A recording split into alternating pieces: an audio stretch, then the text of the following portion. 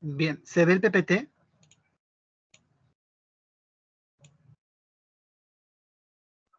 Sí se logra ver, profesor. Bien, gracias. Bien, entonces aquí tenemos la semana 4 que corresponde al horizonte temprano, intermedio temprano y horizonte medio. ¿Ya? Y vamos a comenzar señalando las características del primer periodo histórico de la historia prehispánica del Perú. ¿Ya? Como pueden ver, esto se llama formativo, ¿no? El nombre tiene que ver con la formación de la alta cultura en la historia prehispánica del Perú. Cuando hablamos de alta cultura, estamos hablando de la formación del Estado, ¿ya? El Estado y de los gobiernos teocráticos, ¿ya? Aquí, en este periodo, tenemos una teocracia, ¿no? ¿Qué es una teocracia? Bueno, es un gobierno de sacerdotes, ¿ya? La idea de estos sacerdotes es aprovechar todos sus conocimientos para poder hacer una suerte de intercambio, ¿no? Es decir, los campesinos eh, dan el tributo, trabajan y bueno, la teocracia se encarga de conducir el proceso productivo. ¿ya? Así que de esta manera se produce una relación de dominio. ¿No? Unos sirven a otros y el otro imparte conocimientos. Las teocracias en el arcaico no estaban consolidadas. ¿Por qué? porque dependían mucho de lo que eran los ríos y las lluvias.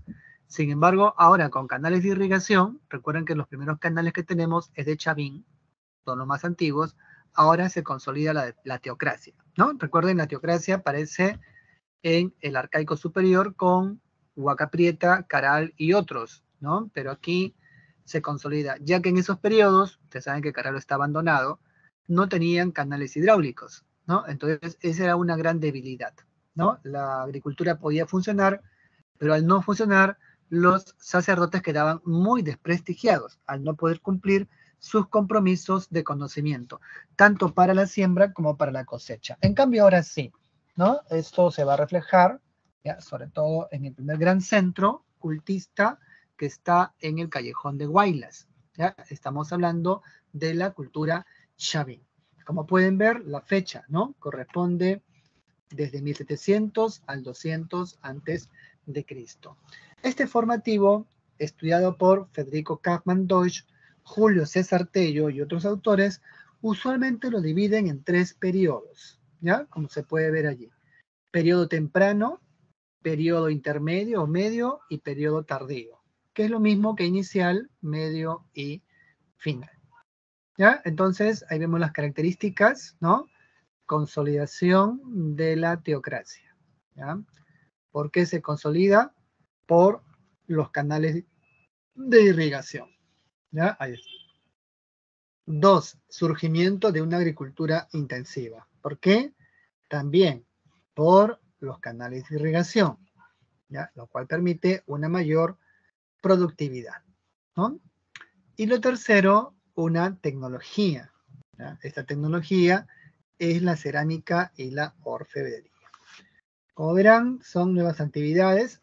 En el arcaico superior no existía la cerámica, ¿no? Se trabajaba con, con platos de piedra o con mates pirograbados. De ahí también la debilidad que tenían estas teocracias, ¿no? Recuerden que la cerámica cumple un papel esencial en la formación de la cultura. Bueno, ese es el, formativo, ¿ya? Esas son las características, aparición de la teocracia, bueno, consolidación. De la teocracia, agricultura intensiva, desarrollo de nueva tecnología. A ello también hay que agregarle el cultivo del maíz, ¿ya? Que es otra característica de este periodo. Bien, eh, las etapas del formativo, siguiendo el trabajo de Kaufman, son tres, ¿no? Inicial, medio y superior, o final. ¿Ya? Entonces, en el periodo inicial, esto comienza en Ancash, en el valle de Casma, ¿ya? En Casma y también yendo hacia el norte, ¿no? Hacia Cajamarca, ¿ya? Y Lambayeque. Estamos hablando de la cultura eh, ¿no? Y Kupisnique, Entonces, ahí tenemos un ejemplo de este inicio y también la famosa cultura Sechín, ¿ya? ¿Por qué Sechín? porque representa un templo de guerra ¿ya? Un escenario de una gran batalla, según Julio César Tello, quien fue quien la estudió. ¿no? Así que chin sería con Kunturwasi ¿ya? y Kupisnike las culturas más importantes de este periodo formativo. Hoy en día el formativo ha avanzado mucho. Tenemos formativo en Arequipa, formativo en Ayacucho, ¿ya? entonces también hay que tomarlo en cuenta, ¿no? Pero ese chin vendría a ser un ejemplo en la medida que tenemos ahí la litoescultura ¿no? de un guerrero, como se puede ver aquí en la imagen. Bueno, ¿quién... Profesor, eh, no se logra visualizar la PPT.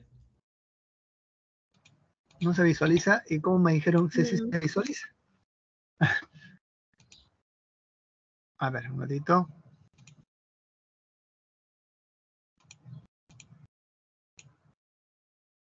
Ya. ¿Ahora?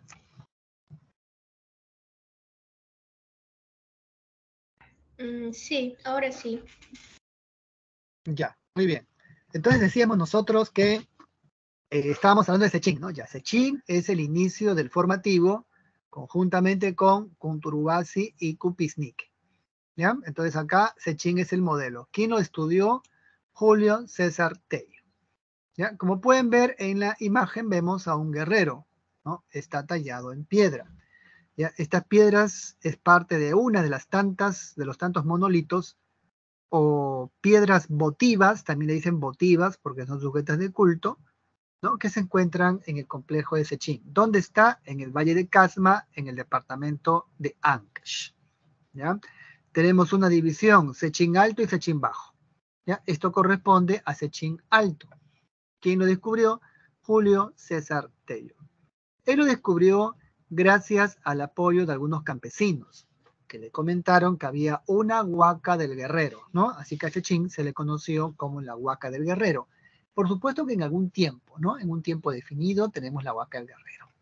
¿Ya? Bien, es un complejo de piedras, ¿no? Votivas, esculpidas, que nos muestran, bueno, lo que es la, eh, una, una gran batalla una gran batalla con cuerpos descuartizados que los artesanos tallaron en piedra. Todo ello, ¿no? El guerrero, manos, coxales, columnas vertebrales, intestinos, estómagos, todo eso, cabezas decapitadas, bueno, etcétera, ¿no? Entonces, ese templo de Sechín, por eso que es muy llamativo y muy importante. ¿Ya? Eh, dos, ¿no? Ese es en el inicial, ¿ya? Luego tenemos el formativo, el medio, ¿no? Que es Chavín. Chavín representa, digamos que, el apogeo, ¿no? Del formativo horizonte temprano. ¿Por qué? Porque a diferencia de Sechín, ¿no? Que practica la guerra, ¿no? Digamos que nadie se quiere acercar a Sechín por el castigo. ¿ya? Y Kupisnike también que tenía ese tipo de fisonomías.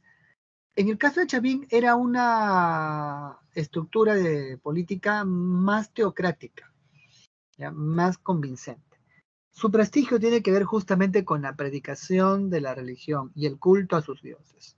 ¿Ya? Este culto de Chavín ha generado en esa época, o generó, ¿no? En esa época, bueno, un, que, una suerte de ruta de peregrinación, ya que todos los sacerdotes de los templos más alejados, tanto del sur, desde Ayacucho hasta el norte, van a viajar a Chavín de Huántar y aprender la forma en cómo se predicaba la religión en esa época, ¿no? La religión, claro, Chavín.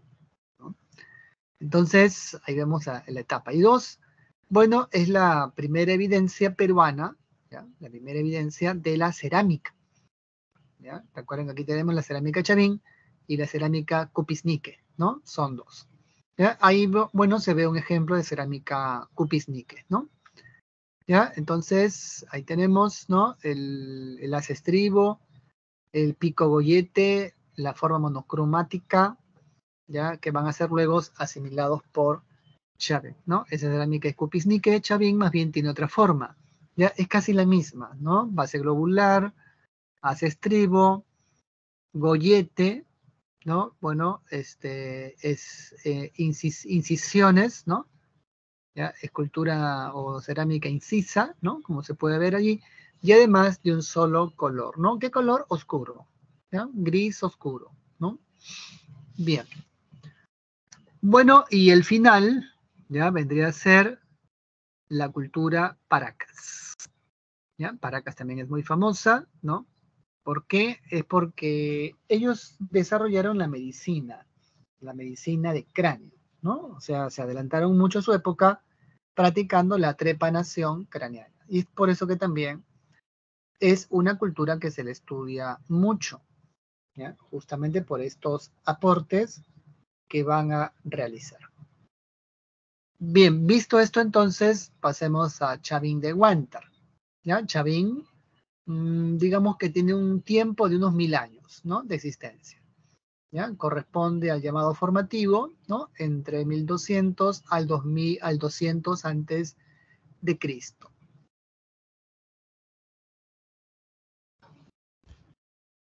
¿Dónde se ubica? En el Callejón de Conchucos, departamento de Ancash, en la provincia de Guari. Aquí pueden ver ¿no? el plano de los complejos.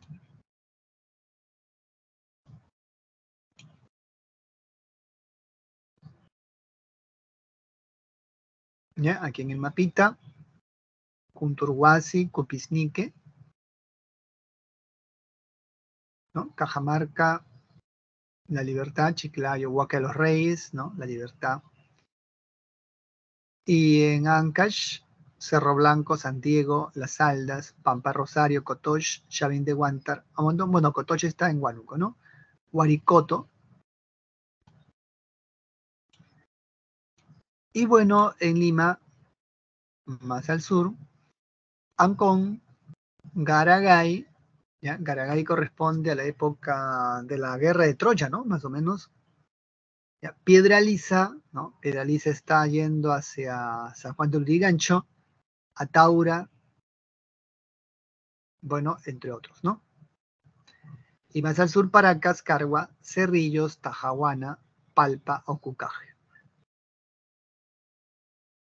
Entonces tenemos en el sur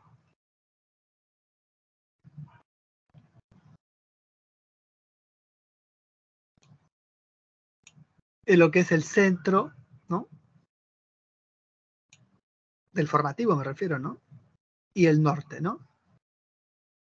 Chiclayo, Cajamarca, de Libertad, en el medio es Ancash, y al sur lo que es Lima, Ica.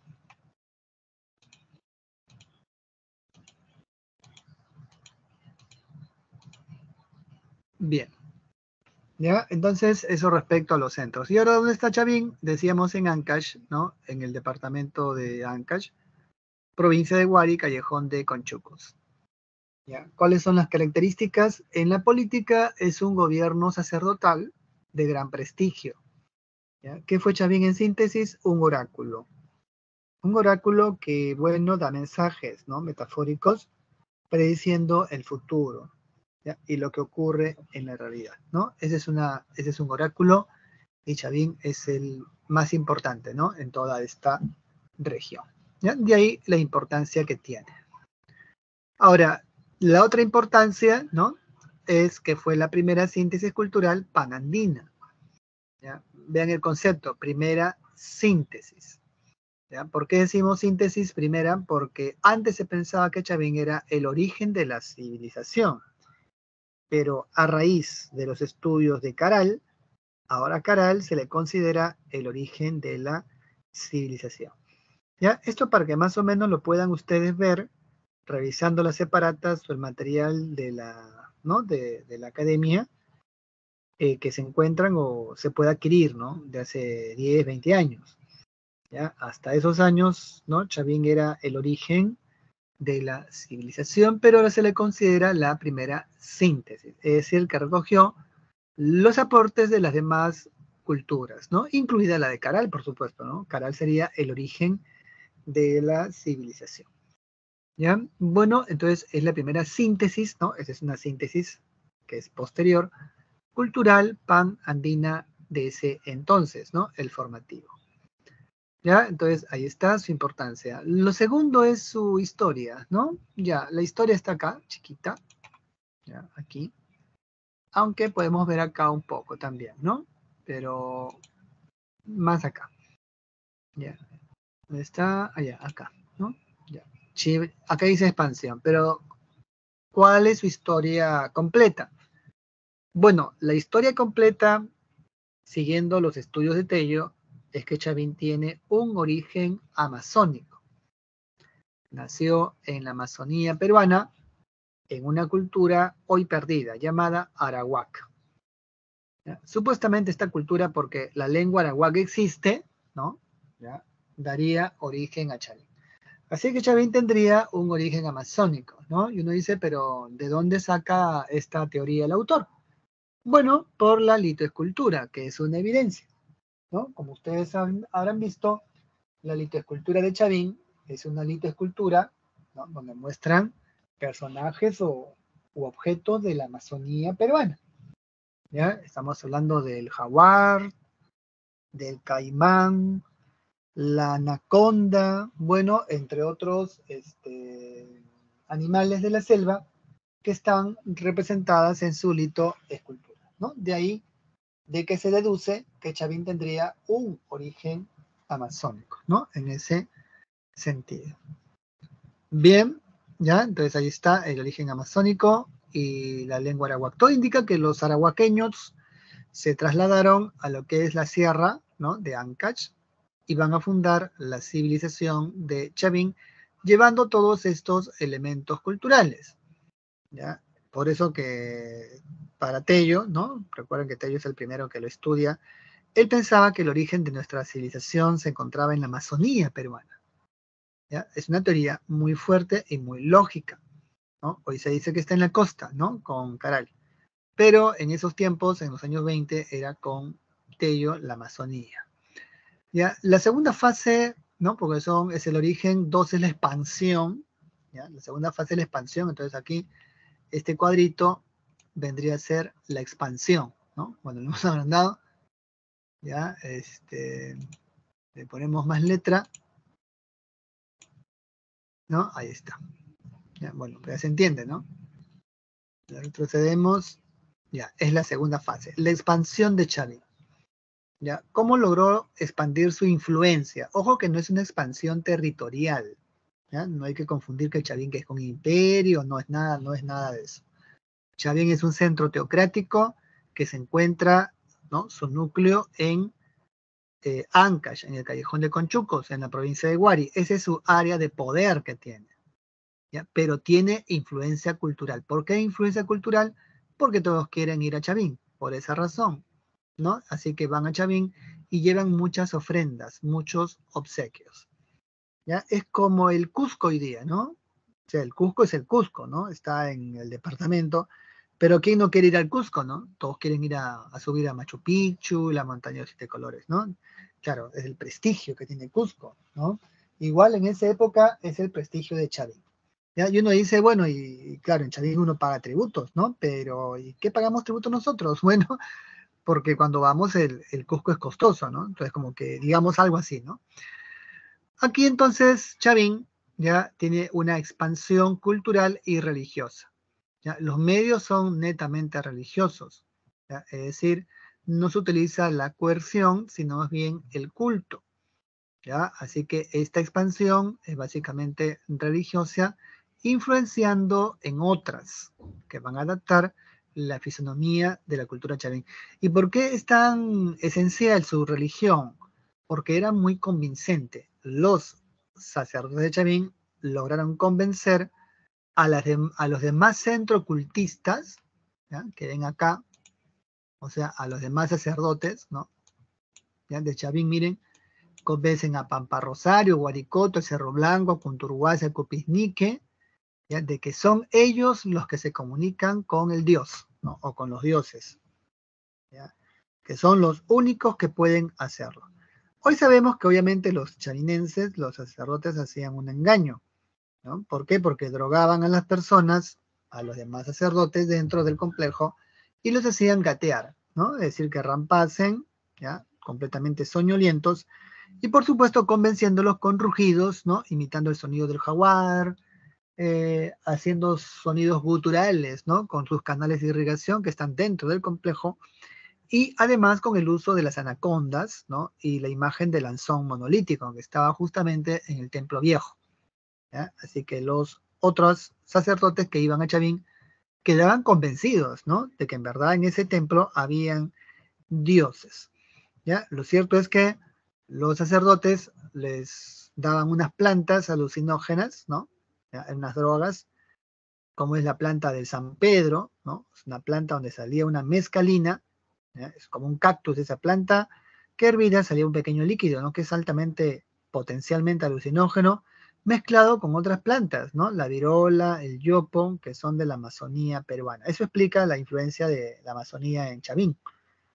Bueno, así que con estos medios, Chavín tiene un gran prestigio. ¿Y cómo sabemos esto? Por sus galerías de las ofrendas, así se llaman, ¿no? Galerías de Chavín de Guantar, que son galerías de las ofrendas. ¿Por qué ofrendas? Porque allí los otros pueblos que venían a aprender el arte de la religión, ya ellos traían muchos regalos y muchos obsequios a Chavín. ¿ya? De todo, ¿no? Objetos, telas, comida, metales, cobre, en fin, que los sacerdotes utilizaban. Así que tenía un gran prestigio, ¿ya? Un prestigio religioso, ¿no?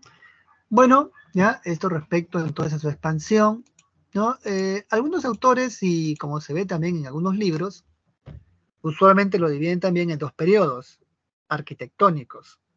¿ya? El primero sería el periodo del templo viejo, ¿ya? el castillo viejo, así se le llama, y el otro del templo nuevo. ¿no? Es también otra periodificación. ¿ya? Aquí podemos ponerla si quieren, ¿no? ¿Ya? Entonces aquí tenemos, ¿no?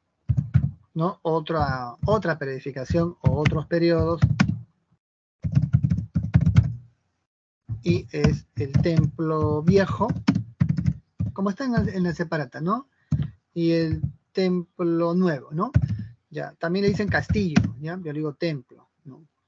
¿Por qué? Porque castillo es pues este, una definición europea, ¿no? De castle, ¿no? O sea, de, como fortaleza, ¿ya? Pero Chavín no es una fortaleza, ¿no? Acá le dicen castillo, no es castillo, es un templo. Un templo viejo, ¿no? Que es el templo de plataforma circular, y el templo nuevo. ¿Ya? El más viejo, obviamente, es el templo donde se rendía culto a Lanzón, ¿no? Es el más antiguo. ¿ya? Y dos, el templo nuevo, es el templo de la Estela. Y que marcaría la segunda fase de Chavín, ¿no? Ahora, hay una, fase nueva que se ha descubierto, ¿no? Se habrán visto las noticias ya hace dos años, ¿no? El arqueólogo John Rick ha encontrado una cámara nueva, hay una nueva cámara, ¿no? Lo pongo como un dato, por si acaso. Una nueva cámara subterránea, ¿no? Donde se ha descubierto el cuarto del cóndor. ¿Qué significa? Que el cóndor al parecer fue sujeto de culto antes que el jaguar. ¿No? Interesante, ¿no? Bueno, eso respecto a los otros periodos. Y acá, ya que no tenemos pizarra física, pero acá hacemos la pizarra, ¿ya? decíamos las etapas, ¿no? que es la etapa, digamos, más conocida, ¿no? Es la del, decíamos, vamos a poner acá uno, ¿no? El periodo inicial, ¿ya? El origen, ¿no? Origen amazónico, la expansión en base al prestigio, ¿no? Aquí expansión religiosa, por su prestigio, ¿no? Del culto. Chavín se convierte en un santuario, ¿no? Un santuario de peregrinación. La gente va a Chavín. ¿Ya? Así que se enriquece, ¿no? Mm, no podemos decir que es como el turismo de esa época, podemos compararlo, ¿no? Pero no es algo, pero podría ser, ¿no? Como algo turístico, porque traen obsequios. Y tercero es el declive. ¿Por qué entra en declive Chavín? Por el fenómeno del niño. El cambio bueno y el, el del niño que destruye el templo. Recuerden que el templo de Chavín se encuentra en la provincia de Huari, en Callejón de Conchuco decíamos, pero rodeado por dos ríos, los ríos Mosna y el río Huachexa. Entonces, estos dos ríos constantemente van a estar en inundaciones. ¿ya? Así que con las inundaciones, Chavín se va a ver anegada muchas veces, ¿no? Va a tener problemas, así que gran parte también de su material lítico ha sido destruido justamente por la inundación del río Mosna. ¿ya? Son ríos muy torrentosos, esenciales, ¿no? Para la agricultura, pero fatales para la destrucción del templo. ¿ya? Así que el templo Chavín finalmente fue abandonado porque la población dejó de creer en él. Los sacerdotes no podían explicar el por qué ocurrían estos fenómenos de lluvias, ¿no? Y la crisis de las cosechas, así que dejaron de percibir los obsequios, los regalos y el tributo que la población les proporcionaba. ¿Ya? De ahí la importancia que tiene, bueno, este, eh, digamos, este, este último periodo, ¿no? Así que tenemos el periodo de las inundaciones.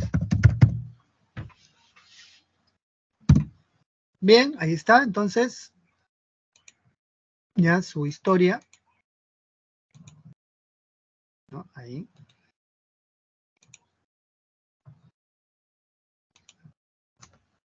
Bien. Ya, entonces ahí está. ¿Alguna pregunta sobre este punto? ¿Alguna preguntilla?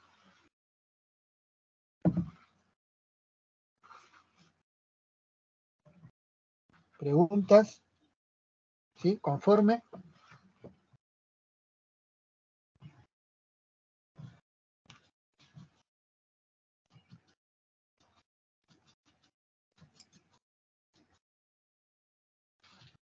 ¿Todo ok?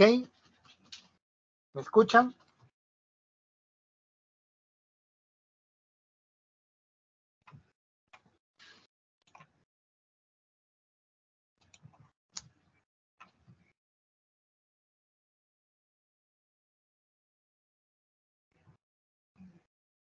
¿Sí? ¿Están ahí?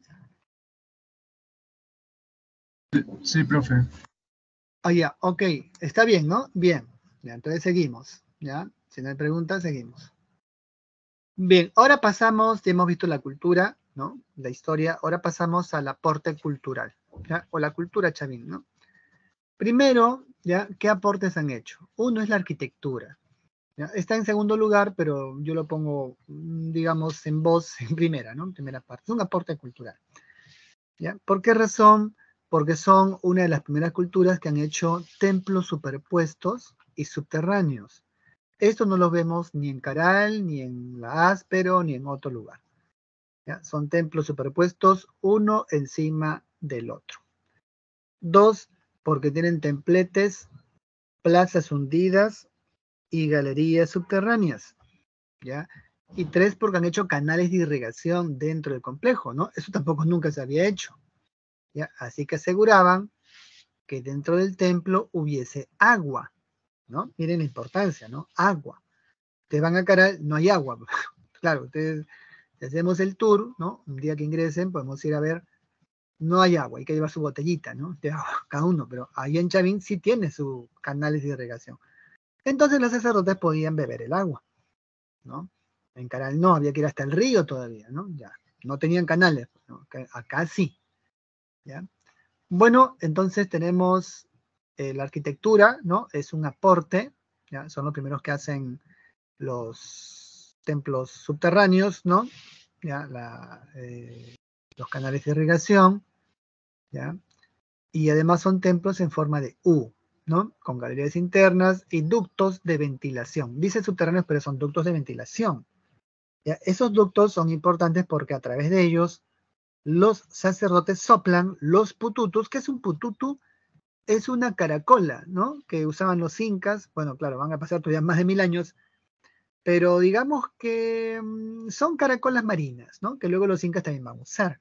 Pero los primeros que lo van a usar son los chavín, la población ancachina, los sacerdotes, para imitar el sonido del jaguar. Así que como se ve en el diseño del mapa, de ese plano, se ve en el diseño,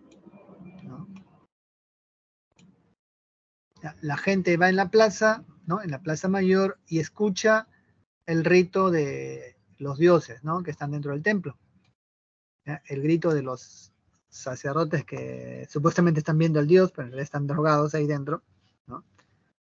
Así que eso le da mucho prestigio. Y para ser más creíble la versión, eso, en esa plaza hay ductos que conectan con el, inframundo, o sea, con la parte inferior donde hay canales y espacios, ¿no? Galerías. Y bueno, allí los sacerdotes soplan, soplan, ¿ya? Y sale el sonido hacia arriba. Y bueno, la gente pensaba que los dioses estaban ahí manifestándose, ¿no? Miren qué interesante, ¿no? Entonces, ese es el gran aporte en la arquitectura. Es una arquitectura diseñada para el control. ¿ya? Y si se dan cuenta, es de piedra, ¿no? ¿Ya? Es megalítica, le dicen, ¿no? Megalítica. ¿Por qué de piedra? Porque la piedra tiene una peculiaridad, aparte de ser sólida, hace que el sonido rebote. O sea, no es como otras estructuras que absorben el sonido, no, rebota limpiamente, así que el sonido dentro podía ir a cualquier parte. ¿no? Así que de esta manera era una suerte de control visual, ¿no? por la indumentaria que utilizaban los sacerdotes, y también auditivo por los sonidos y ruidos que salían del complejo, ¿no? Hacia la superficie. Gracias al uso de la piedra, ¿no? Que hace que el sonido rebote. Bien, entonces ahí vemos ya la arquitectura y vemos la religión, ¿no? Son dioses antropomorfos, ¿ya? Antropomorfos, ¿sí? Son dioses, eh, bueno, la religión que hay, eh, la religión chavín, ¿qué características tiene? es antropomorfa. ¿Por qué? Porque sus dioses tienen forma humana. Es zoolátrica, porque rinden culto a muchos animales. Así que es antropomorfa, zoolátrica y terrorífica, ¿no? Ahí lo dice. Culto a dioses terrorífica. De aspecto antropomorfo. Y con rasgos de animales depredadores. Ahí está, ¿no? Zoolátrica, terrorífica, antropomorfa. Felinos, aves y reptiles, ¿no? ¿Qué felinos? El jaguar, el gato de la selva, el cóndor, la arpía, ¿no? Son aves. Los, este, la anaconda, ¿no? El caimán, ¿no? cocodrilo amazónico, etc. Entonces, esas son las características. ¿Y qué uso tienen? Bueno, es para convencer a la población en ceremonias públicas. Recuerden que son ceremonias públicas porque se hacen afuera del templo, para que la población sepa que los dioses están con ellos y que se manifiestan de cuando en cuando. La población que por supuesto estaba encantada, y todos debían asistir a presenciar el objeto del culto. Quien no asistía podía ser considerado como un sujeto que no pertenecía a la comunidad. ¿no? Recuerden que aquí existen los ayus, que son las comunidades unidas por lazo de parentesco. Bueno, ¿qué se ha encontrado en Chavín aparte de esto que estamos señalando? Se ha encontrado restos humanos. Se ha encontrado hace poco el cuerpo de un enterrado allí y también restos que hace muchas décadas lo encontraron Lumbrera Tello, donde se demuestra que Chavín Sí, utilizaron algunos cuerpos para hacer, bueno, fueron devorados, ¿no? Posiblemente un sacrificio, muchos dicen canibalismo, porque fueron devorados, ¿no? Cocidos al fuego, descarnados y, bueno, tostados, ¿no? O sea, parece que hicieron un banquete, pero con cuerpos humanos. ¿No? Bueno, eso también es otro aspecto peculiar de la cultura eh. Y en cuanto a su litoescultura, es netamente religiosa. ¿Ya? Ahí está, ¿no? Netamente religiosa. ¿Ya? Entonces, este, es incisa, ¿no? ¿Ya? Y además, em, educativa, ¿no? Sirve para enseñar cómo se practica el poder y el control de los alucinógenos. Uno dice, ¿y cómo se sabe, profesor, si no hay escritura? Bueno, por lo que vemos en el escultura, pues habla por sí sola, ¿no? Vemos ahí un sacerdote que sostiene el San Pedro, ¿no? Recuerden que el San Pedro hervido es un cactus, ¿no? Hervido en el fuego, sale un líquido que se llama mescalina y bueno, es una droga, ¿no? Muy poderosa, ¿no? En fin. Y los sacerdotes sabían utilizarlas muy bien, ¿no? Bueno, entonces ahí tenemos ¿ya? la litoscultura religiosa, ¿no? También tiene una metalurgia religiosa, ¿ya? Ahí pueden ver objeto de oro decorado con la deidad principal del culto de Chavín, ¿no? Eso también es un aporte, ¿no? Que ellos tendrían. ¿Ya? Bien, eh, ¿qué más tenemos? Tenemos el lanzón monolítico, que fue su principal divinidad. ¿ya? Representa un ser mitológico que conecta el cielo y la tierra. Tiene extremidades humanas con garras, colmillos de felinos y serpientes en lugar de cabello. Y como pueden ver, está haciendo un saludo, ¿no? Miren. Ustedes lo agrandan la imagen. Parece un saludo nazi, ¿no? es curioso porque ahora me doy cuenta. Está levantando la mano hacia arriba, ¿no? La mano derecha. ¿Ya? Se ve, ¿no?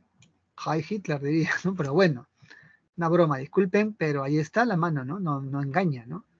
Está haciendo un saludito, ¿ya? Como diciendo, aquí estoy, ¿no? Y con los ojos desorbitados. Parece que sonríe, ¿no? En fin.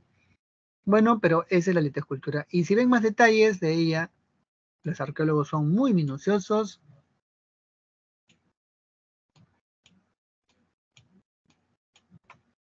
parece que tuviera, ¿no? Una, digamos, este, estructura especial, ¿no? Bien. ¿Ya? Entonces esto respecto al lanzón. Y el otro es, decíamos que lanzón es la principal divinidad del templo viejo y el obelisco Tello, ¿ya? que también se encontró en el patio circular hundido y que representa a dos caimanes copulando. ¿Ya? Es curioso, ¿no? El obelisco, aquí son, miren la cabeza del caimán, y aquí, ¿no? Eh, la reproducción que hace el caimán con la otra, ¿no? Que es una caimana hembra, tallada en piedra, ¿no? ¿Qué, ¿Qué podría representar? Bueno, para muchos la reproducción y la fertilidad. Obviamente, ¿no? Es una cópula entre caimán y caimana, que el artesano lo echó en piedra, y podría ser una suerte de memoria de la reproducción de la vida, ¿no? Desde la Amazonía, porque son dos caimanes, ¿no? Obviamente.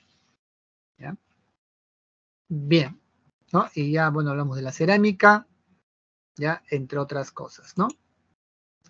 Bueno, ahí está la estela de Raimondi, ¿ya? Recuerden que eso representa el templo nuevo, y la última etapa en la historia de Xavi. Representa a un dios con dos cetros en los brazos, ¿ya? es una divinidad adoptada por diversas sociedades del mundo andino. ¿Sí?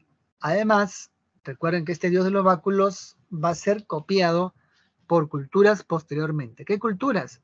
La cultura Wari, que también tiene un dios muy similar con dos báculos, y la cultura Tiahuanaco, o el imperio, ¿no? Wari del imperio Tiahuanaco. Los dos tienen dioses con cetros en los brazos. Por eso que para Tello, que observó también a Wari y Tiahuanaco, comprendió o afirmó que Chavín sería pues la cultura panperuana, ¿no? ¿Por qué? Porque todos habrían imitado este diseño, ¿no? De poder de los cetros o báculos en las manitos, ¿no? Como se ve allí. Y lo otro son las cabezas clavas, que representan a sacerdotes en proceso de transformación. Son cinco fases de las cabezas clavas, donde el sacerdote pasa de hombre a animal, ¿no? miren el mensaje, ¿no? De hombre a felino. Así que poco a poco su cara se convierte o asume la que tendría un felino, ¿no? Es decir, despiadado, ¿no? Etcétera. Bien, esto respecto a la, a la cabeza clavas, a escultura. Y finalmente la cerámica, con influencia cupiznique, tiene las características ya mencionadas, ¿no? Decoración incisa, forma globular, gollete, asa, estribo y además de color oscura, ¿no? Monócroma, un solo color. y con imágenes, por supuesto, felinizadas, ¿no? Lo felínico es típico acá, ¿ya? Como se ve allí, ¿no? En la imagen. Bien. Terminamos, Chavín. ¿Alguna pregunta de Chavín?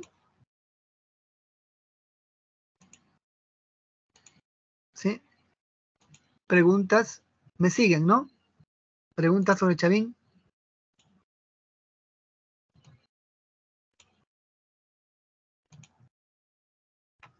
Ok.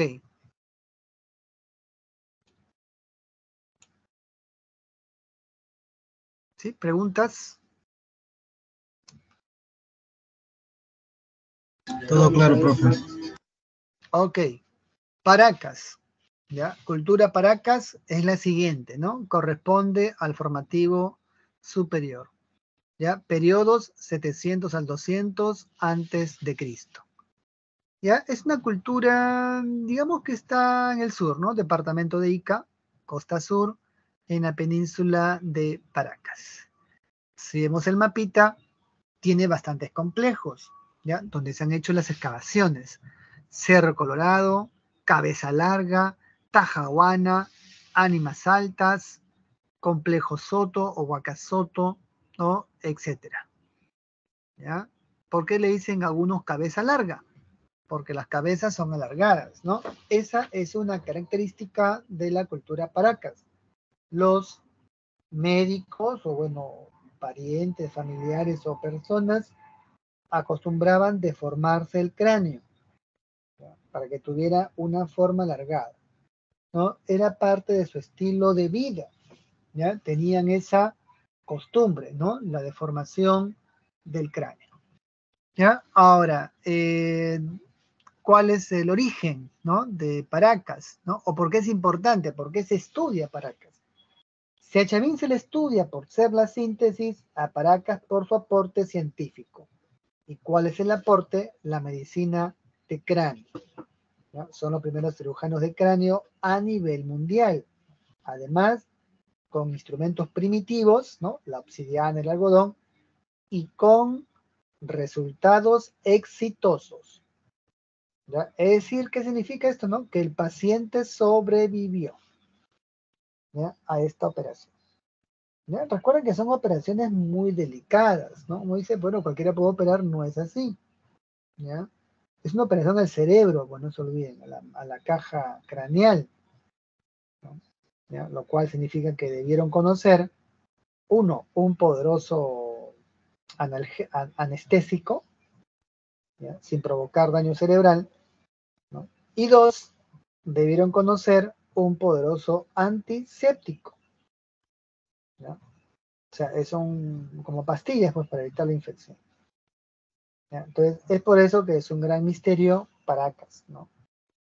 Es un gran misterio y la ciencia mundial la estudia Paracas, ¿no? Quieren saber el secreto, pero nunca van a poder saberlo porque tienen que saber de historia primero, ¿no? Bien, entonces veamos su origen, ¿no? Su origen es chavinoide, ¿ya? Ahí puede ser una clave, ¿no? ¿Por qué? Porque los chavín utilizaban muchos alucinógenos y que quizás los paracas pudieron utilizarlo como anestésico. Recuerden que es una operación al cráneo y el paciente tiene que estar dormido, ¿no? Obviamente. los alucinógenos solamente los dejaban en soñolencia, pero no los hacía dormir, ¿no? Bueno, pero ahí está la influencia de Chavín sobre las comunidades de la costa sur. ¿ya? Parece que de Chavín, debido a la crisis ¿no? climática, migran hacia el sur y encuentran en Ica un valle fértil, para hacer una nueva cultura. Así que van a desarrollar un gobierno teocrático en etapas tardías, ¿no? destacando la casta de jefes guerreros. Por lo tanto, la cultura Paracas tiene tres periodos. ¿no? Uno, origen Xavi. Dos, Paracas cavernas. Y tres, Paracas necrópolis. Esa sería, digamos, la secuencia de la cultura Paracas, ¿no? Tiene un origen en Chavín y una primera fase, ¿ya? En la llamada Paracas Cavernas, ¿no? Entonces, características, fue un gobierno teocrático donde destacó una casta militar. Lo segundo, ya, es que en la periodificación, como vemos acá, ¿no? Ahí está. La primera, decíamos, es origen en Chavín y la segunda es la etapa cavernas, ¿no? Si se dan cuenta, la periodificación se ha hecho por la arquitectura. Claro, la arquitectura, ¿no? Si se dan cuenta, es por la arquitectura, por la forma de las tumbas, ¿no? Que es arquitectura. Las tumbas cavernas, como ven allí, son tumbas y las tumbas necrópolis. Las primeras son tumbas subterráneas, bajo tierra, y las segundas en la superficie, como mausoleos o nichos, ¿no? O estructuras que ven allí, ¿no? Completamente edificadas. ¿ya? Ahí se ve la diferencia, ¿no? Las tumbas primeras son subterráneas bajo tierra y las segundas en la superficie. ¿ya? Lo segundo es que la fase cavernas tiene forma de botella ancha, ¿ya? Parece una cerámica, ¿no? Con una cámara sepultada o sepulcral donde se acopiaban los farros. Muchos piensan que tiene la forma de los órganos internos reproductivos de, femeninos, ¿no? Por lo tanto, habría una relación con la madre tierra, ¿no? Que sería la madre tierra. Bueno, es una forma de representar la divinidad femenina en el mundo antiguo, ¿ya? Debido a que para los campesinos, ¿no? La madre tierra es una diosa porque proporciona alimentos. Para ellos la tierra es lo más importante. Sin la tierra no se es nada. Sin la tierra la gente muere de hambre. ¿Por qué? Porque son pueblos agrícolas. Ellos comen de la tierra, ¿no? El maíz, bueno, todo lo que conocemos de la agricultura peruana. La papa, los tubérculos, bueno, etcétera. Así que la tierra es muy valorada y la madre tierra es la Pachamama, ¿no? Para ellos es sagrada, ¿ya? Así que van a representar la tumba, ¿no? Como un renacimiento a la vida, ¿ya? Y se ve en la forma de las tumbas cavernas, pues, ¿no? Tienen los órganos reproductivos internos femeninos, ¿no? Eh, ahí en los fardos, que están, ¿no? Ahí en la cámara, apilados, son así. Es una momia envuelta con muchas capas de mantos funerarios y algunos objetos de valor que va a utilizar en otra vida. ¿ya? Tenían forma de semillas para germinar luego como los ancestros, ¿no? Y acá vemos el ejemplo. Lo entierran con sus alimentos porque piensan que va a resurre, bueno, va a empezar otra vida, ¿no? Y acá está, ¿no? Miren, en cuclillas, con alimentos y envuelto en los fardos, ¿no? Esa era la creencia que tenían ellos, ¿ya? Es como una postura fetal, es como un renacer en el más allá. Y de ahí viene esta importancia. Entonces ahí lo volvemos a poner, ¿no?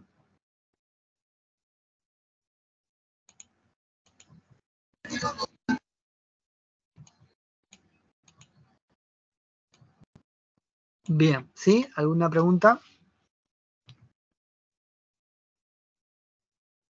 Todo claro, profe.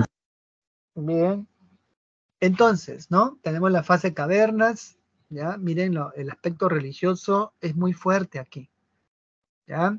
Entonces, representa, como decíamos, el culto a la Madre Tierra, ¿no? Esa es la primera gran diferencia con la segunda fase, ¿ya? Es una fase inicial. ¿Por qué? Porque la caverna es una estructura primitiva de construcción. No, no hay, como se ve, diseños sofisticados, ¿ya? no hay cámaras como tal, ¿no? Bien específicas. Entonces, es una etapa primigenia, ¿no?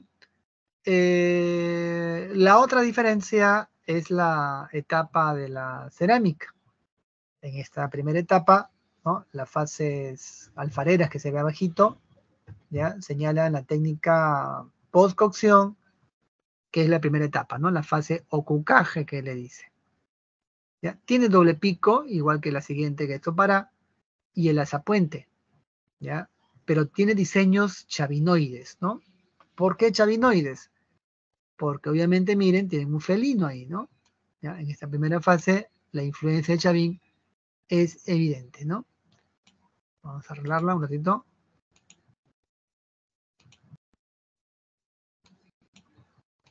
Ya, entonces aquí, si agrandamos la imagen, ahí está, ¿no? El felino. ¿No? Curioso, ¿no? Un felino.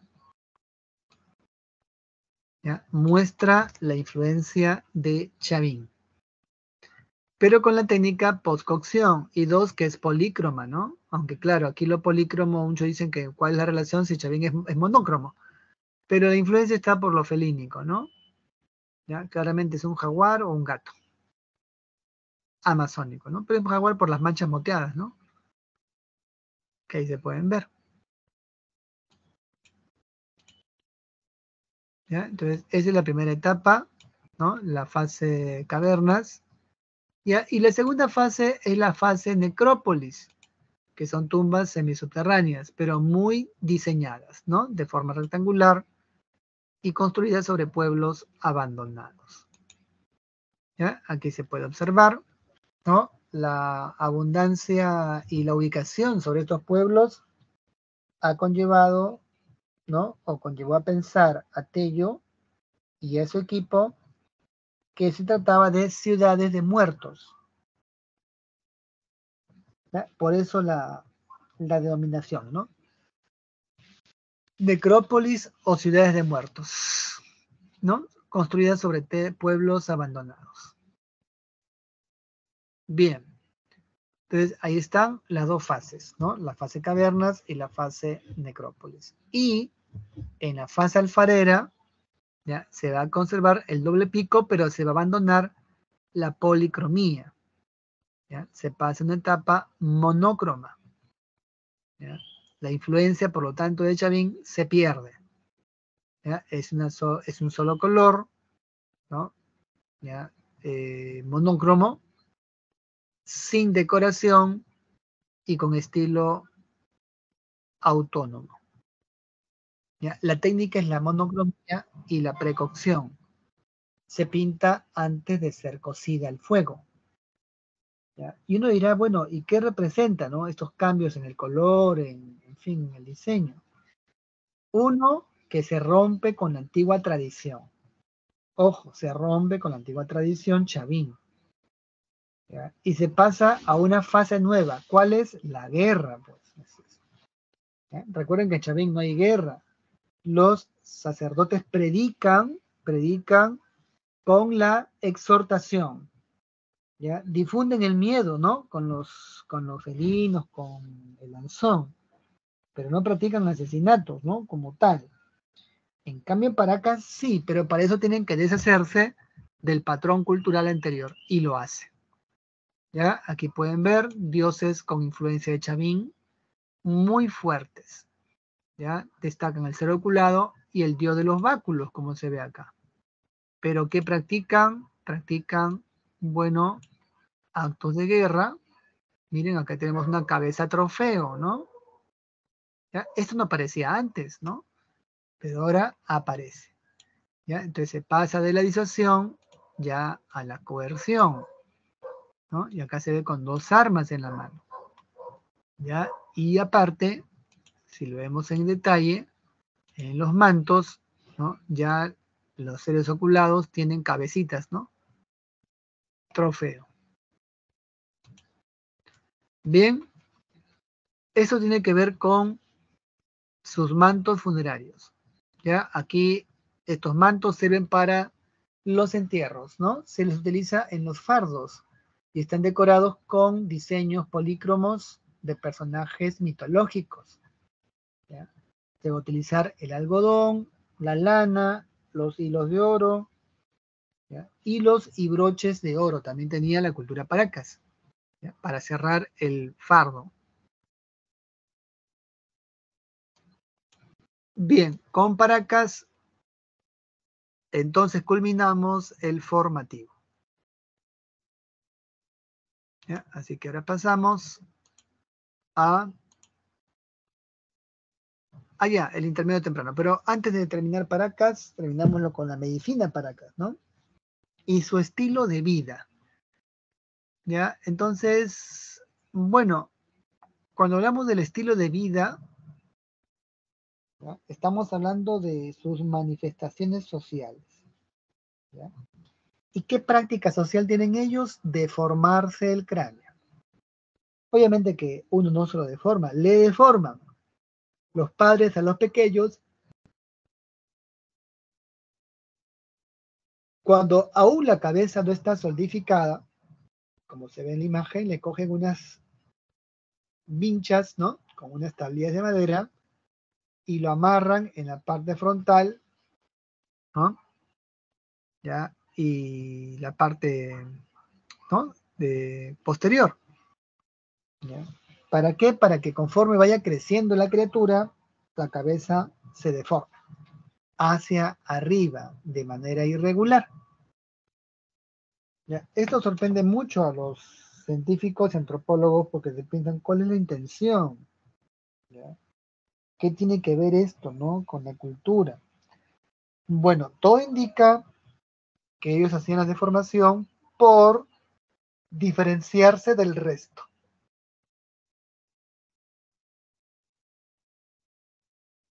Es decir, es una práctica de la élite como clase social. Bueno, esta práctica les pasó factura, ¿no? ¿Por qué? Porque sabemos que la deformación craneana tiene un impacto en la salud mental. Tal vez lo más probable es que muchos quedaran dañados, ¿no? En el cerebro, sobre todo los, la gente rica, ¿no? La élite de esa época, y tuvieran que recurrir a la cirugía de cráneo, ya que la deformación craneana, como puede más o menos uno intuir, pueden provocar cefaleas agudas. Entonces, en estas cefaleas agudas, obviamente el dolor debió ser tan intenso que, bueno, se recurría a la trepanación ¿no? craneana. Eh, también la guerra podría ser una causa, ¿no? Pero también estas cefaleas agudas. ¿Ya? Así que mm, era parte de este estilo de vida, ¿no? Era parte de este estatus social. Que la élite lo hacía, ¿no? Recordemos que la medicina se le practica a ellos y son los restos que hemos encontrado nosotros, ¿no? Los arqueólogos y los historiadores. Y el otro aspecto peculiar de su cultura es su aporte en la medicina, ¿no? Ahí tenemos la trepanación craneana y la forma en cómo se hacía. Como pueden ver, ¿no? Se hacía esto con mucho tino, ¿no? Con mucha paciencia. No era fácil hacer una trepanación, ¿no? Como pueden ver allí, ¿ya? Para tratar algún tipo de lesión, ¿no? Se hacía tanto en la parte eh, de atrás como en la parte de adelante, ¿no? ¿Ya? Se utiliza la obsidiana, Una piedra volcánica para el corte, y con ella se hacían pues cinceles, Luego se barre el cráneo, se hace un raspado, ¿ya? Y bueno, este, eran varias técnicas, ¿no? Tal como sigue ahí. ¿Ya? Una vez que esto ocurría, obviamente el paciente quedaba dormido, ¿no? Muy afectado. Lo sorprendente es que aquí se ha demostrado que el paciente sobrevivió. ¿Eso qué significa? Que la medicina del Perú antiguo estaba muy avanzada.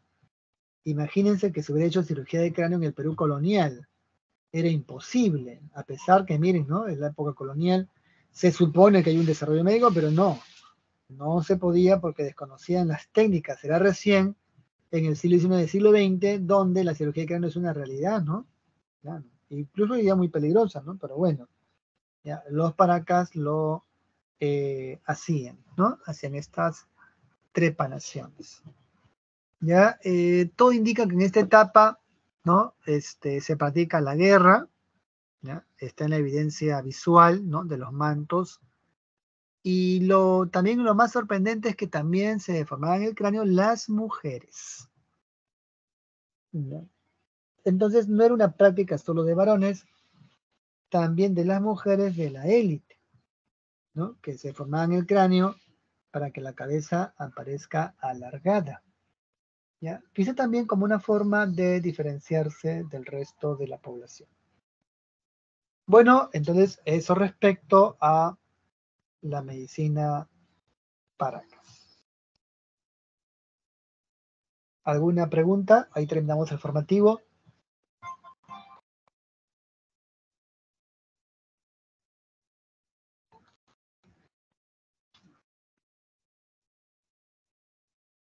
Todo claro, profe. Bien. Gracias. Pasemos al intermedio temprano. Ya es otro periodo, ¿no? 200 al 600 después de Cristo, es decir, unos 400 años. ¿Ya? ¿Qué ocurre en este periodo? Primero, ¿no? Cuando cae Chavín, ¿ya? El formativo, ¿ya? Hay todo un periodo nuevo, ¿no? Recuerden que en la época Moche, o aquí en el intermedio, el fenómeno del niño va a causar estragos en la población. Va a causar muchos estragos, ¿no? Recuerden que el fenómeno del niño, miren, ¿no? Hoy día hay crisis, ¿no? Por el niño o la niña que le dicen, ¿no? También. ¿Por qué hay crisis? Porque provoca destrucción de la agricultura. Y ante eso, ¿ya? Recuerden que la gente pasa hambre, ¿no? De repente hoy día, ¿no? En un orden global uno puede importar, ¿no? De otros países. Pero en esa época se come lo que hay allí, ¿no? Así que debió ser muy violenta la situación. Bueno, así que los gobiernos se hacen más fuertes. Los sacerdotes ya no basan el poder solo en la predicación, como Chavín y otros más, sino que ahora utilizan la disuasión mediante la guerra. Esto señala el surgimiento de un nuevo tipo de gobierno, el Estado militarista. Esta es la teoría de Lumbreras, ¿no? El arqueólogo peruano fallecido recientemente. Tenemos entonces la etapa mm, del Estado militarista que caracteriza la política del primer intermedio. Así que el sacerdote pasa de ser un simple sacerdote y se convierte en un sacerdote guerrero. ¿No? Bueno, son estados autónomos y con identidades diferenciadas. Como pueden ver, hay muchas de estas culturas, ¿no? La cultura Moche, la cultura Nazca, la cultura Lima, la cultura Recuay, la cultura Huarpa, la cultura Tiahuanaco. Los tenemos en norte, centro y sur. Costa, sierra, bueno, en la selva todavía no hay, nada en la selva, no se sabe nada, pero costa y sierra, ¿no? Y altiplano. Tiahuanaco está en el altiplano, o Pucará, ¿no? Que está en Puno, así es. Tiahuanaco aparece después, ¿no? Sino que aparece primero Chiripa, Púcara, ¿ya? y otras culturas, ¿no? Que después se van a convertir en Tiahuanaco. Bien, entonces tenemos ya estados autónomos y con identidades diferenciadas, ya eh, en la costa, ¿no? Tenemos la ingeniería hidráulica a gran escala. ¿Por qué? Por sus canales de irrigación. ¿no? La agricultura se convierte en una actividad esencial, indispensable. ¿Dónde? En Moche Nazca. Son denominadas sociedades hidráulicas. ¿Por qué? Porque la hidráulica avanza mucho. Se invierte mucho en esta tecnología. Porque se busca elevar la productividad debido a que la población ha crecido. Cuando hay mayor cantidad de alimentos, hay más población. Y si hay más población que se requiere, más trabajo, más empleo, más alimentos. Bueno, eso ocurre aquí en este primer periodo, ¿no? Intermedio. Ya, eh, dos, surge la teocracia militar, ¿no? Como se ha dicho, ya no es simple, ya no es solamente la simple exhortación, sino ahora se utiliza la coerción, para hacer frente a los problemas climáticos y también a los conflictos sociales, ¿no? Desde entonces habían conflictos, sí. Hay también mucha alienación, ¿no? Por ejemplo, en Moche se ve esto, ¿no? Y tercero, también el desarrollo artesanal. Hay una alta producción artesanal de alto nivel, especializada sobre todo en la cerámica y la metalurgia. Recuerden que es la cerámica, pero también la metalurgia, ¿no? Los objetos de oro son primorosos. El caso de Moche es un ejemplo, ¿no? Tenemos máscaras, ¿no? Pectorales, en fin, todo lo que compone el coxal, bueno, el atuendo, tanto de la, del señor Zipán como de la, de la dama de Cao. ¿ya? Así que otra característica también va a ser la presencia activa, política y religiosa de la mujer. ¿Qué significa? Que las mujeres ahora se convierten en sacerdotisas, ¿no? Tienen mucho poder e incluso reinas. Estamos hablando de la gran reina o bueno, gobernante mochica, conocida como la Dama de Cao. ¿no? Todos los arqueólogos en general sostienen que es una autoridad política y religiosa. ¿Por qué política y militar? Por las armas de guerra que se le ha encontrado en su ajuar funerario. ¿ya? Y dos, teocrática porque tenía virtudes de chamanismo, Es decir, mm, digamos que religiosa. Bien, ¿ya? Entonces ahí está, ¿no? El caso de del intermedio temprano, y comenzamos con Nazca. ¿Ya? Pueden ver aquí en Nazca, ¿no? 50 al 600 después de Cristo. 50 antes de Cristo, 600 después de Cristo, ¿no? Ya vamos a ponerlo acá.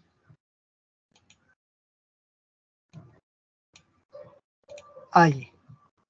¿Dónde está situada? Bueno, está en la costa sur, en la cuenca del Río Grande, en Ica. ¿Ya? Está situada en las pampas de Nazca, de Palpa y de Socos. ¿Ya? Una zona que hoy día es desértica, pero que quizá en su momento tuvo bastante desarrollo agrícola. La capital o centro ceremonial es la ciudad de Cahuachi, que bueno, sufre las inclemencias del tiempo porque constantemente se encuentra, bueno, ¿no? Este, eh, con polvo, ¿no? Con tierra que siempre hay que estar limpiando, ¿no? O atendiendo, ¿no? En ese sentido. Bueno, y su origen, ¿no? Nace de la cultura nazca perdón, Paracas. Es decir, la cultura nazca tiene un origen en la cultura Paracas.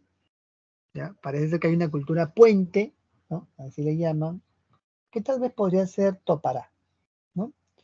Una cultura puente, ¿no? Entre una y la otra. ¿Cuáles serían las evidencias aquí? Bueno, uno, la iconografía del dios, ¿ya? sus personajes mitológicos, ¿no? Como se ve allí uno de ellos. ¿Ya? Ahí está. ¿No? Si agrandamos.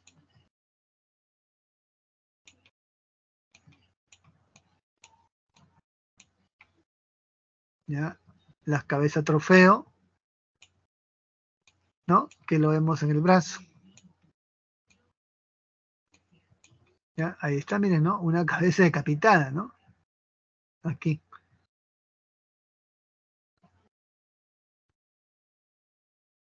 ¿Qué sería esta cabeza trofeo de acá, no? Claro. ¿Ya? Entonces, esas serían las evidencias de, esta, de este origen, ¿no? De la cultura nazca. ¿Ya? Eh, es un estado teocrático militar que practica la guerra, ¿ya? Y también practica, sacrificios, ¿no? Todo esto dirigido por jefes guerreros. ¿Para qué? Para hacer estas cabezas trofeo. Como pueden ver, el uso es evidente, ¿no? Es una cabeza muerta, momificada, a la cual se le ha atravesado con una soga para portarla, pues, ¿no? No es para. ¿Dónde la vas a colgar, no? Es para portarla en el brazo, en fin, una forma de prestigio, ¿no? Y causar miedo.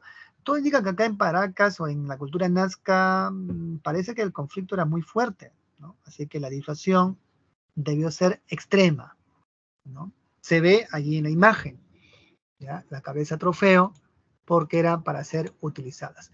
Otro autor sostiene que eran cabezas ofrendas, ¿no? Ofrendadas a los dioses, pero basta ver la soga ¿no? para determinar el uso que ésta tenía, ¿no? ¿Ya? El dios es el ejemplo, ¿no? Que seguimos nosotros con respecto al uso de las cabezas trofeo. ¿Ya? Así que la guerra es algo muy importante en Nazca. Y también quizá por qué razón, ¿no? Uno se preguntaría que son malos, bueno, Tal vez es posible por la ausencia de agua o de lluvias en la zona. Todo indica que la cultura nazca fue abandonada porque la zona se convirtió infértil. Tal vez una deforestación catastrófica, ¿no? una explotación irracional provocó una desesperación. Y eso explica por qué invirtieron tanto en tecnología hidráulica, ¿no? Canales subterráneos, canales, bueno, galerías filtrantes, ¿no? Que conecta uno con otro pozo, ¿no? Tal como se ve allí en el diseño. ¿ya? Y bueno, haciendo pagos a la tierra con estos sacrificios para calmar a los dioses, ¿no? Entonces hay una relación, ¿no? Entre esta economía agrícola para obtener agua, ¿no? Y así regar los valles. Y dos, la arquitectura, ¿no? construyeron grandes centros ceremoniales como Cahuachi, que es el mayor centro, y la estaquería. ¿Qué es la estaquería?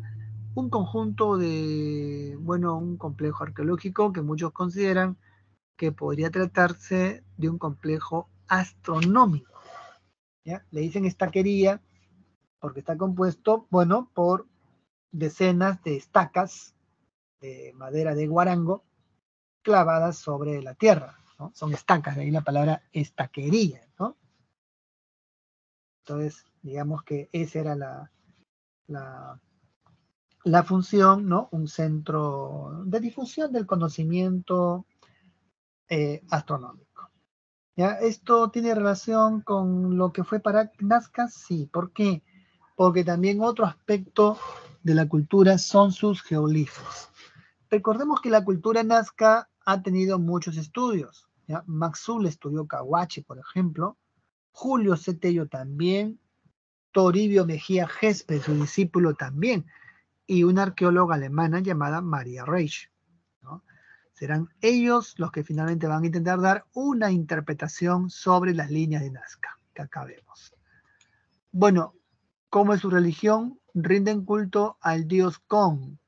Es como un felino y siempre porta cabezas trofeo además de un báculo.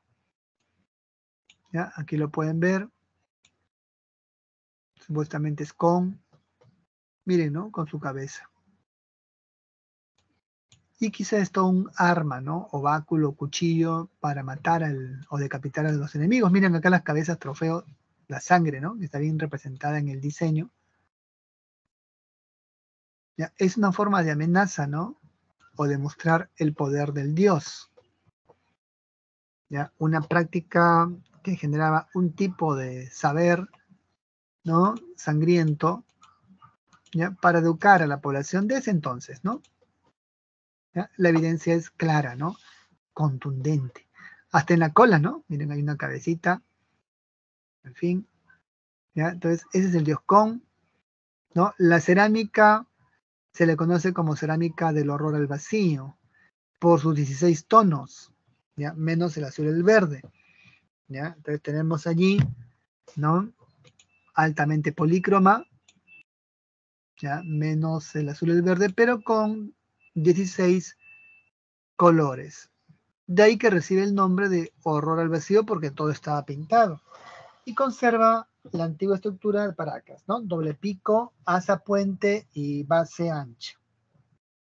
Es una característica importante.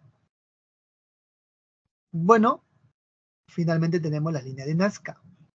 Decíamos que estudiada por María Reich, ¿no? una arqueóloga alemana, ¿ya? y Toribio Mejía Gespe, ¿no? quien fue arqueólogo peruano, discípulo de Julio César Tello. Bueno, ¿qué dice esta línea? ¿No? Bueno, primero que son los geoglifos o la línea de Nazca, son un conjunto gigantesco de diseños o geoglifos en tierra. ¿ya? Están dibujados en las pampas desérticas de Nazca y básicamente con fines religiosos. ¿ya? Bueno, ahí vemos cómo se ve la elaboración de los geolíficos, de los geolifos según un estudio. ¿Ya? Se hacían de esta forma, ¿no? Con una estaca y una soga se iba marcando la línea, ¿no?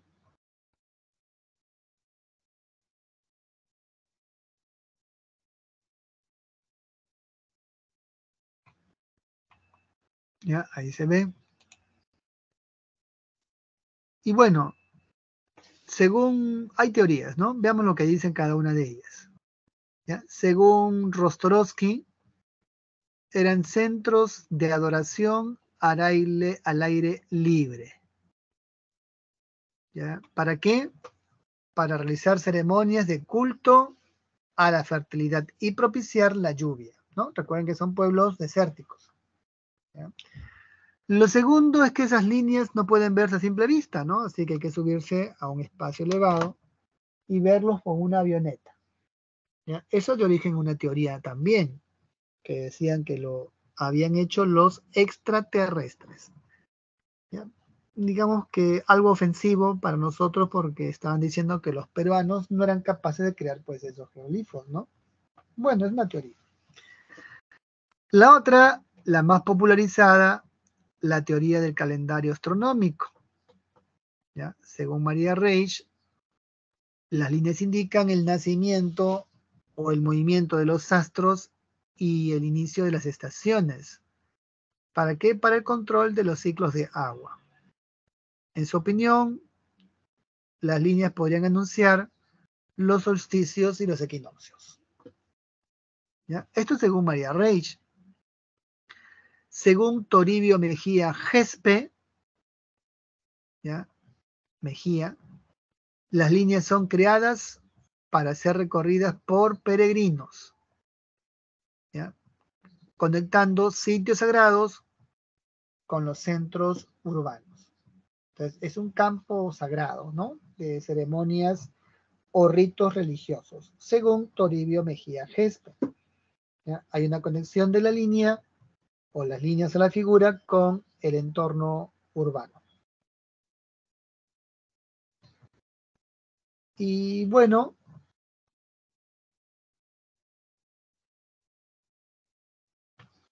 finalmente, para Reinhardt,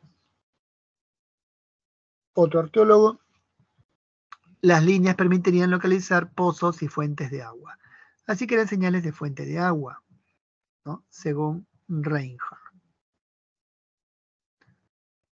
Bien, entonces, esto respecto a la línea de Nazca.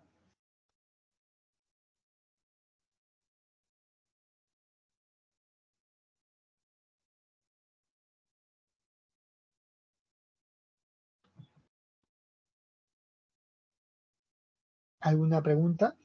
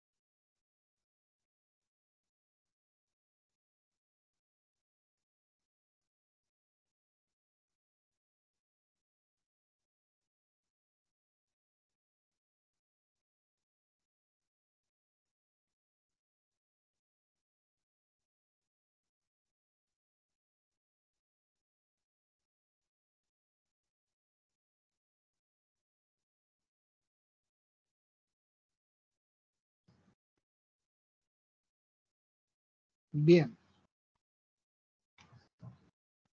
Pasemos entonces a la cultura moche.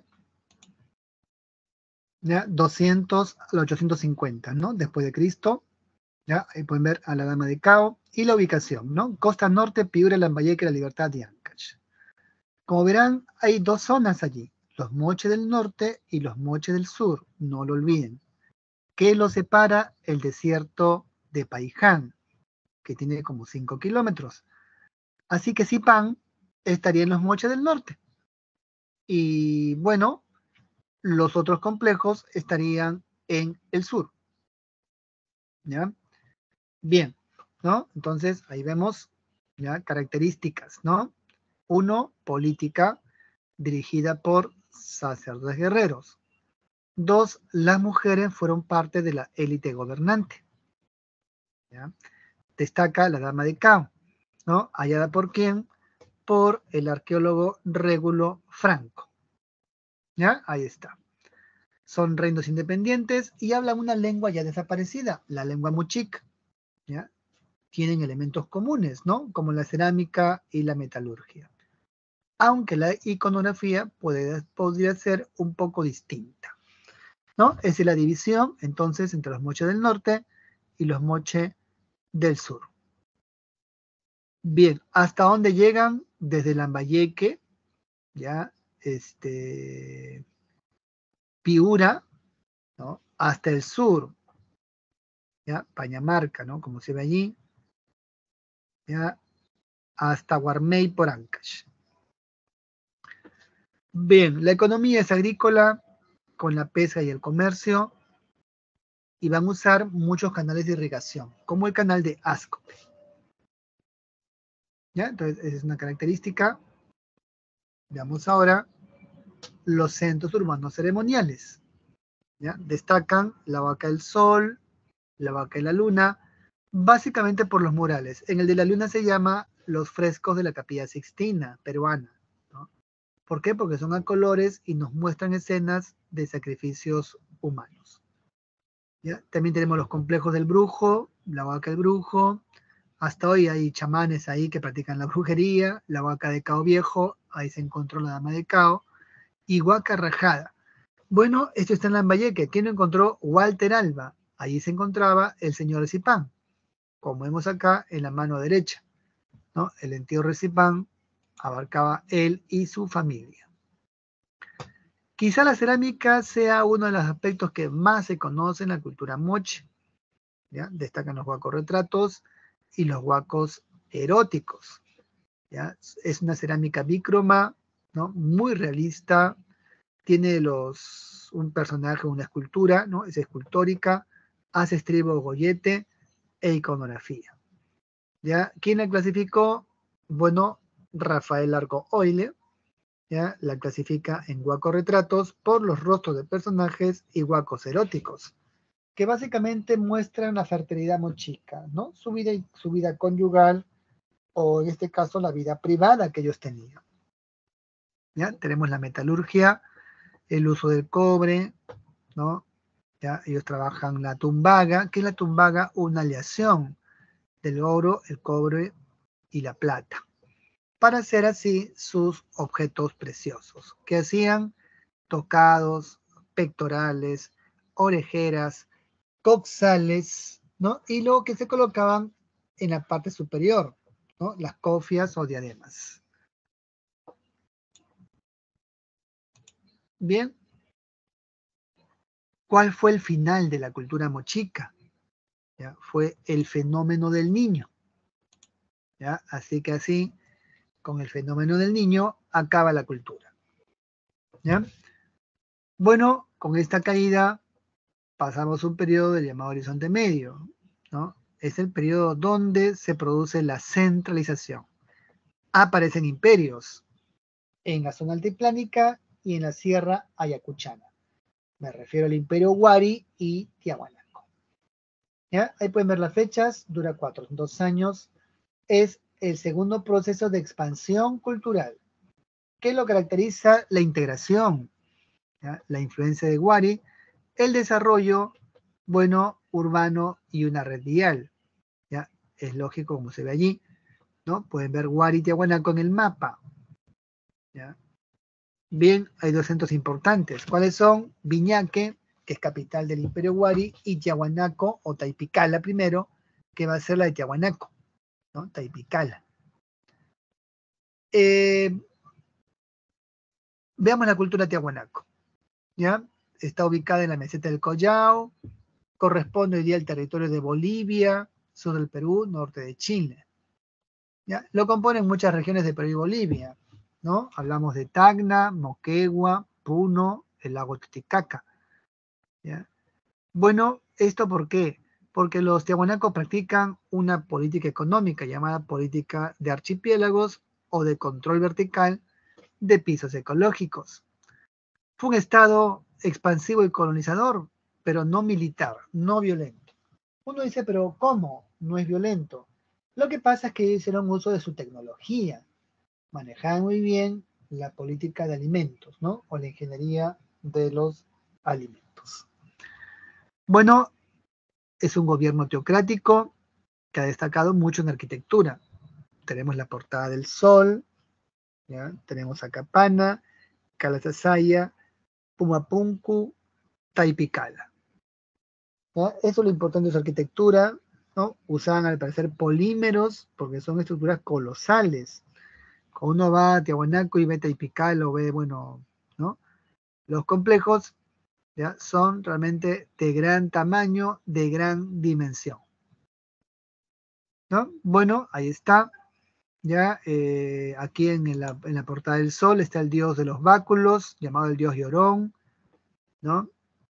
¿Por qué? Porque le brotan lágrimas de los ojos. ¿Ya? Y esto debido a que tal vez, ¿no? Por la ausencia del agua, hayan tenido ese tipo de práctica. ¿Ya? La imagen del dios llorón o de los báculos está acá presente en la portada del sol. ¿Qué tenemos aquí? Al dios y un calendario agrícola, ¿no? Según los expertos. Se pueden ver, ¿no? Con un pequeño de figuras, que sería un calendario, ¿no? Para algunos.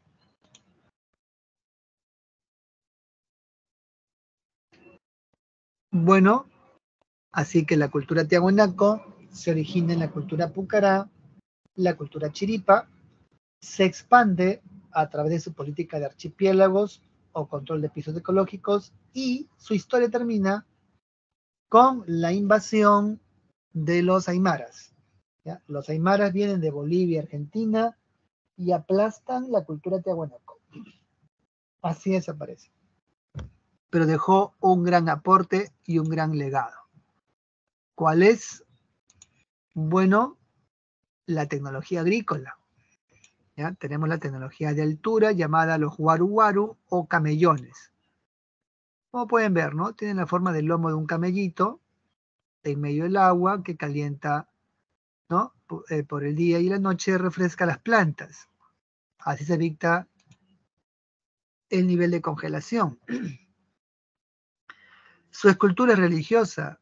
Representan a gobernantes con objetos rituales o sacerdotes, destacando el monolito Bennett y el monolito Ponce. El control vertical de pisos ecológicos es lo que más se conoce, esta vez en colonias, ya trasladando sus poblaciones. Y bueno, aquí está, ¿no? ¿Ya? Aquí está el sistema de archipiélagos para dominar la producción en cada región. Su cerámica son los queros, que son vasos ceremoniales, son polícromos de color negro y anaranjado con base delgada. También podían ser hechos de metales preciosos. Bien, entonces esto respecto a Tiahuanaco. Ahora veamos al Imperio Wari. Es el segundo, o bueno, es el primer imperio pagandino en todo caso. Es el primero porque unifica parte de la costa sierra y la selva, ¿no? Como se ve en el mapa. Por supuesto, selva en el sur, ¿no? Selva cusqueña, ya que en la zona del Brain, ¿no? Se ha encontrado a la tumba del emperador Wari. El primer emperador Wari de la historia ha sido encontrada en la región.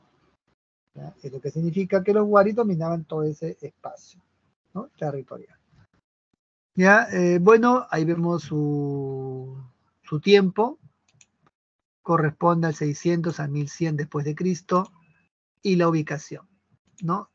La ubicación es Ayacucho, ¿ya? Y aunque su área de influencia abarcó hasta Cajamarca y Moquegua, no colisionando con los territorios bajo control de Tiahuanaco.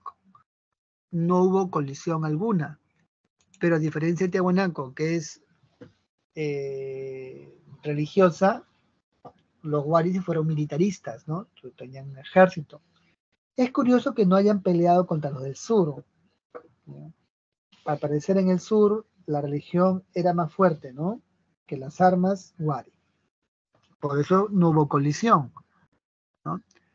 Bueno, ¿cuál es el origen de la cultura de la cultura guani? Según Lumbreras, es la síntesis cultural de tres civilizaciones, la cultura Huarpa, Nazca y Tiahuanaco. Y cada una va a aportar algo de manera específica. Tiahuanaco aporta el dios de los báculos, la cultura Huarpa el patrón arquitectónico y la cultura Nazca la influencia en la cerámica. Entonces ahí tenemos estilos de cerámica. Estilo Huarpa, Conchopata, Chaquipampa, Huarpa temprano, Robles Moco, entre otros estilos. Ahí, por ejemplo, vemos, ¿no? También estilo San Blas, ¿no? Pero ese sería un Robles Moco. Porque básicamente tenemos la imagen del dios, ¿no? En estas cerámicas, Robles Moco, Así le llaman por el nombre del arqueólogo. Bien, entonces ese es el origen, ¿ya? Hay una influencia de Huarpa, Nazca y Tiahuanaco. La segunda fase es de la expansión. A través de una política vial y de guerra, Guari se convierte en un imperio, de Ayacucho hacia el resto de las regiones. ¿Ya? Así que Guari construye caminos reales muy importantes que luego en el futuro los incas van a utilizar. ¿Ya? Son los caminos imperiales, edificaciones de dos pisos incluso, con plazas, bueno, y servicios que la población demandaba, ¿no? En ese entonces. Bueno, eso es este, el Imperio Wari. Pero decíamos, tiene una, un ámbito de, de ubicación, ¿no? Ayacucho y los territorios que son adyacentes. Bueno, este, ahí vemos su economía, ¿ya? Si Tiahuanaco inventa los Waru Waru, ellos van a trabajar los andenes, que son tierras de cultivo ganadas a las montañas, ¿no? llamadas tierras duras, ¿ya? y así mejorar la productividad. Otro aporte de Wari, ¿no? ¿Cuáles son los aportes? La arquitectura y los caminos y los quipus. Tres grandes aportes. Quipus, porque es el primer tipo de escritura registrada a la fecha. El caso de los moche tuvieron una escritura llamada payariforme, pero no ha sido descifrada. Tampoco los quipos, ¿no? Pero se, duda de los payares si eran escrituras o no. De los quipos hay certezas. Estos nudos, luego los quincas van a copiar. Para cuantificar su producción. Wari también hacía sus quipus. ¿Ya? Entonces tenemos ahí el aporte, ¿no? En la economía son los andenes. Y bueno, eh, la capital era Viñaque, pero también desarrollaron la ciudad, ¿no? El modelo de ciudad. Ya las ciudades son cabeceras de región y vemos ahí el plano de Piquillacta con una cuadrícula urbana, con calles rectas y bueno, con viviendas rectangulares, ¿no? Tal como se ve acá. ¿No? Asombra porque es un mapa moderno, ¿no? O sea, es de una ciudad. Ahí se puede ver.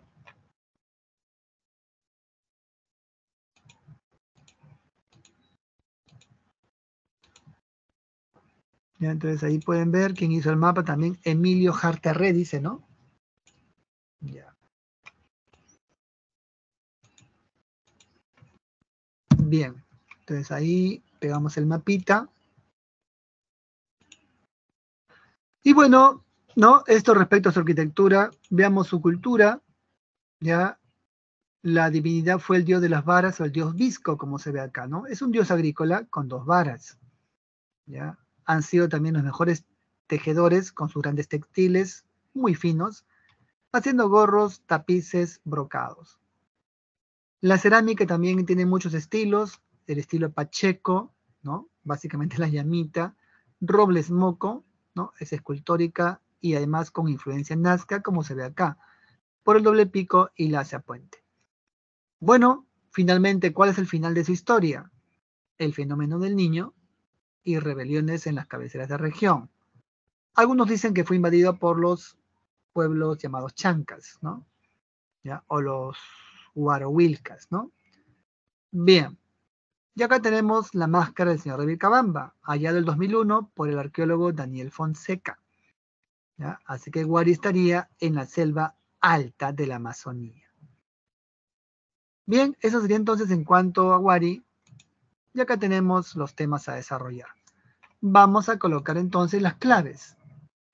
¿Ya? Así que como parte de las claves, ¿no? Ya tenemos acá. Vamos a escribirla.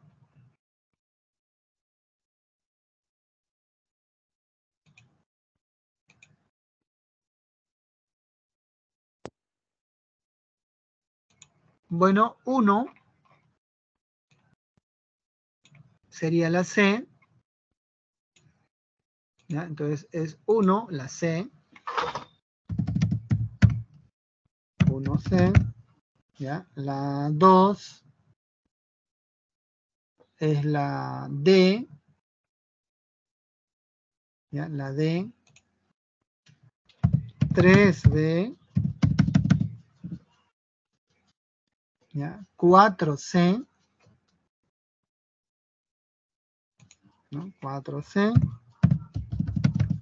y la 5, la C también. ¿Ya? Ahí está. Si hay alguna pregunta, me lo dicen.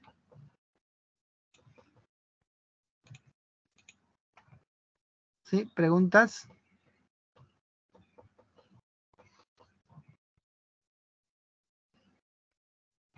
Ahí está. Ok, jóvenes. Entonces, tengan ustedes muy buenas, buenos días, ¿no? Muchas gracias. Un abrazo. Cuídense mucho. Hasta luego.